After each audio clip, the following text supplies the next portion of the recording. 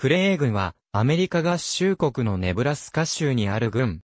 2000年時点での人口は7039人で、軍庁所在地は、クレーセンター。ケンタッキー州選出のアメリカ合衆国上院議員で、アメリカ合衆国国務長官などを務めた同国の大物政治家、ヘンリー・クレイにちなんで名付けられた。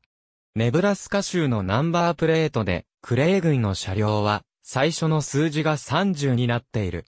これは1922年にナンバープレートの制度を確立した際、クレイ軍の車両登録数が州内の軍の中で30番目に多かったからである。アメリカ合衆国国勢調査局によると、この軍は総面積1485平方キロメートルである。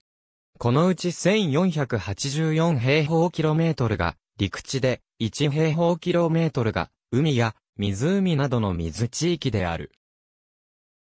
総面積のうち0.09%が水地域となっている。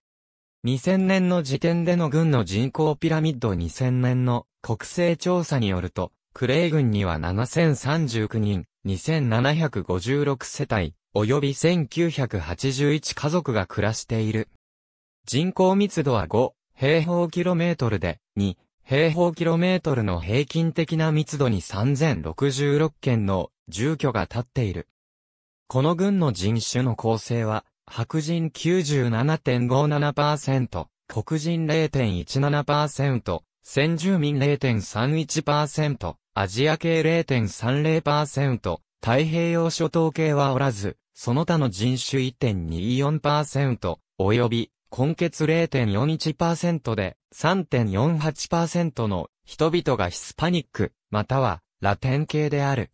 軍民の49.4%がドイツ系、7.2%がイングランド系、7.2%がアメリカ系、5.4%がスウェーデン系、5.3%がアイルランド系移民の子孫である。クレイ軍に住む2756世帯のうち32.90%は18歳未満の子供と暮らしており、63.70%は夫婦で生活している。5.50%は未婚の女性が世帯主であり、28.10%は家族以外の住人と同居している。25.70%は独居で、全世帯の13.10%は65歳以上の独居老人世帯である。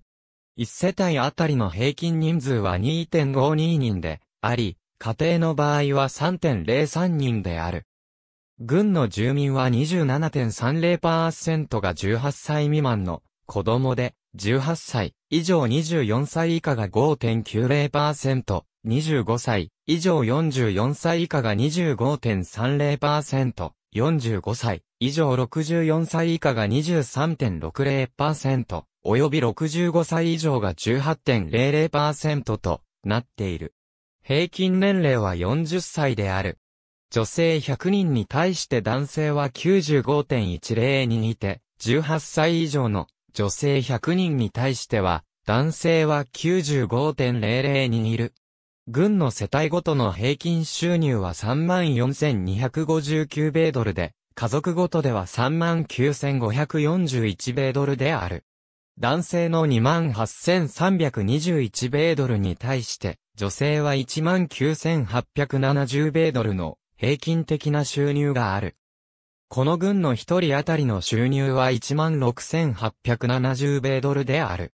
総人口の10.40%、家族の8.50%は貧困線以下である。